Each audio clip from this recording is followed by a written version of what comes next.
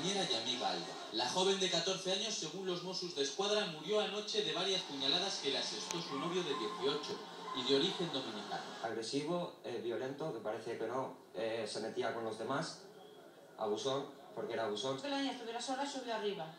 Se ve que discutió con ella, porque por lo que, ve, por lo que me han dicho, ella quería que dejara la relación. Según la alcaldesa de Tárrega, en Lleida, en el lugar de los hechos, ambos estaban solos cuando Alba murió. No se lo cree, mi hija no se lo creía.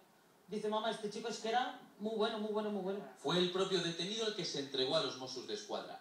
El Ayuntamiento de Tárrega y la Generalitat han condenado el asesinato y han decretado dos días de luto oficial.